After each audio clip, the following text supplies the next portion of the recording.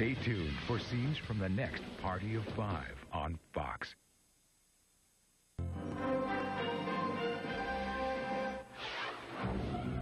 Next week on an all-new Party of Five. Albert's a thief, but it's just because he's got a baby boy to feed. He's never hurt anybody. He never hurt anybody. He hurt you. He stole stuff, but he's never touched anybody before.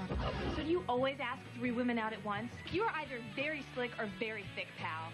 He's sick. Is he hitting? Griffin, Because it's okay. It's not your fault. Ned and I are none of your business. Would you please just leave? No. The lady, leave. She's gonna leave.